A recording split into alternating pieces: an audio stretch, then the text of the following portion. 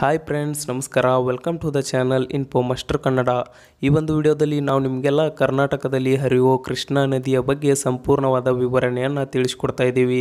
ಅದಕ್ಕೂ ಮುಂಚೆ ನೀವೇನಾದರೂ ಫಸ್ಟ್ ಟೈಮ್ ನಮ್ಮ ಯೂಟ್ಯೂಬ್ ಚಾನಲನ್ನು ನೋಡ್ತಾ ಇದ್ದರೆ ಸಬ್ಸ್ಕ್ರೈಬ್ ಮಾಡ್ಕೊಳ್ಳಿ. ಜೊತೆಗೆ ಈ ವಿಡಿಯೋ ಇಷ್ಟ ಆದರೆ ವಿಡಿಯೋಕ್ಕೊಂದು ಲೈಕ್ ಕೊಟ್ಟು, ಎಲ್ಲ ನಿಮ್ಮ ಸ್ನೇಹಿತರೊಂದಿಗೆ ಶೇರ್ ಮಾಡಿ ಅಂತ ಹೇಳ್ತಾ ಬನ್ನಿ. ಈ ವಿಡಿಯೋವನ್ನು ಶುರು ಮಾಡೋಣ. ನದಿಗಳು ನೀರಿನ ಮುಖ್ಯ ಭಾಗವಾಗಿವೆ. ಇನ್ನು ಈ ನದಿಗಳು ನಿಸರ್ಗದಲ್ಲಿ ಮುಖ್ಯ ಪಾತ್ರವನ್ನು ವಹಿಸುತ್ತವೆ. ಇನ್ನು ನೀರು ಅಮೃತವಿದ್ದಂತೆ ಈ ಅಮೃತವನ್ನು ಹಿತಮಿತವಾಗಿ ಬಳಕೆ ಮಾಡಬೇಕಾಗಿದೆ. ಇನ್ನು ಈ ನೀರಿನ ಮೂಲಗಳನ್ನು ಸಂರಕ್ಷಿಸಬೇಕಾಗಿದೆ. ಈ ನದಿಗಳ ನೀರನ್ನು ನಾವು ಸಂರಕ್ಷಣೆ ಮಾಡಿದರೆ ನಮಗೆ ನಿಮಗೆ ಎಲ್ಲರಿಗೂ ಉತ್ತಮ ಅಂತ ಹೇಳ್ತಾ ವಿಡಿಯೋನ ಶುರು ಮಾಡೋಣ.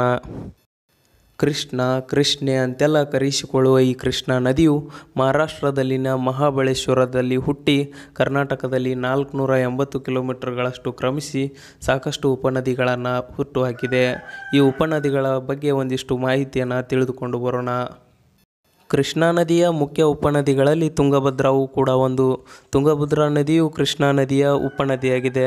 ತುಂಗಭದ್ರಾ ನದಿಯು ಪಶ್ಚಿಮ ಘಟ್ಟಗಳಲ್ಲಿ ಹುಟ್ಟಿ ತುಂಗಾ ಮತ್ತು ಭದ್ರಾ ನದಿಗಳ ಒಕ್ಕೂಟದಿಂದ ರೂಪುಗೊಂಡ ನದಿಯಾಗಿದೆ. ಈ ನದಿಯು ಡೆಕ್ಕನ್ ಪ್ರಸ್ಥಭೂಮಿಯಲ್ಲಿ ಪೂರ್ವಕ್ಕೆ ಹರಿಯುತ್ತದೆ.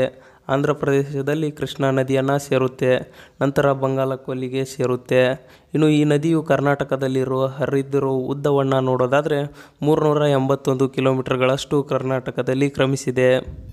ಕೃಷ್ಣಾ ನದಿಯ ಇನ್ನೊಂದು ಮುಖ್ಯ ಉಪನದಿಯಪ್ಪ ಅಂತಂದರೆ ಘಟಪ್ರಭಾ ನದಿ. ಈ ಘಟಪ್ರಭಾ ನದಿಯು ಕರ್ನಾಟಕದಲ್ಲಿ ಎರಡು ನೂರ ಹದಿನಾರು ಕಿಲೋಮೀಟರ್ಗಳಷ್ಟು ಕ್ರಮಿಸಿದೆ. ಇನ್ನು ಇದರ ಉಗಮ ಸ್ಥಳವನ್ನು ನೋಡೋದಾದರೆ ರಾಮಘಟ್ಟ. ಇನ್ನು ಈ ನದಿ ಪಶ್ಚಿಮ ಘಟ್ಟಗಳಿಂದ ಆರಂಭವಾಗಿ ಪೂರ್ವ ದಿಕ್ಕಿನಲ್ಲಿ ಹರಿಯುತ್ತೆ. ಈ ನದಿಯು ಕರ್ನಾಟಕದ ಪ್ರಸಿದ್ಧ ಗೋಕಾಕ್ ಫಾಲ್ಸ್ ಜಲಪಾತವನ್ನು ರೂಪಿಸುತ್ತದೆ ಹಾಗೂ ಕೊನೆಯದಾಗಿ ಕೃಷ್ಣಾ ನದಿಯನ್ನು ಸೇರುತ್ತೆ.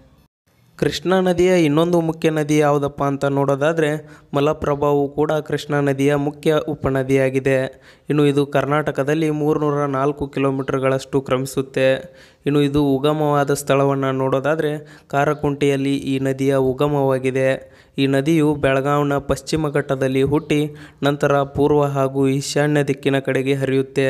ನಂತರ ಕೂಡಲ ಸಂಗಮ ಗ್ರಾಮದಲ್ಲಿ ಕೃಷ್ಣಾ ನದಿಯನ್ನು ಸೇರುತ್ತದೆ.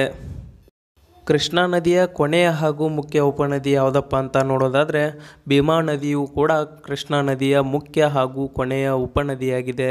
ಇನ್ನು ಈ ಭೀಮಾ ನದಿಯು ಮಹಾರಾಷ್ಟ್ರದ ಭೀಮೇಶ್ವರ ಎಂಬಲ್ಲಿ ಹುಟ್ಟಿ ಕರ್ನಾಟಕದಲ್ಲಿ ಮುನ್ನೂರ ಮೂವತ್ತಾರು ಕಿಲೋಮೀಟರ್ಗಳಷ್ಟು ದೂರವನ್ನು ಆಕ್ರಮಿಸುತ್ತೆ ಇನ್ನು ಭೀಮಾ ನದಿಯು ಪುಣೆಯಲ್ಲಿ ಹುಟ್ಟಿ ಭೀಮಾಶಂಕರ್ ಕಾಡಿನಿಂದ ಮಹಾರಾಷ್ಟ್ರ ಮತ್ತು ಕರ್ನಾಟಕ ರಾಜ್ಯಗಳ ಮುಖಾಂತರವಾಗಿ ಹರಿಯುತ್ತೆ.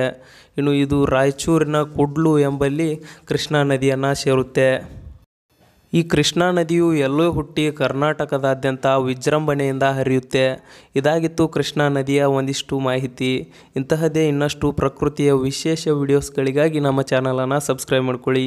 ಜೊತೆಗೆ ಪಕ್ಕದಲ್ಲಿರೋ ಬೆಲ್ ಬಟನನ್ನು ಕ್ಲಿಕ್ ಮಾಡಿಕೊಂಡು ನಾವು ಅಪ್ಲೋಡ್ ಮಾಡೋ ಹೊಸ ವಿಡಿಯೋಗಳ ನೋಟಿಫಿಕೇಷನನ್ನು ಬೇಗ ಪಡೀರಿ. ವಿಡಿಯೋವನ್ನು ಸಂಪೂರ್ಣವಾಗಿ ನೋಡಿದ್ದಕ್ಕಾಗಿ ಧನ್ಯವಾದಗಳು.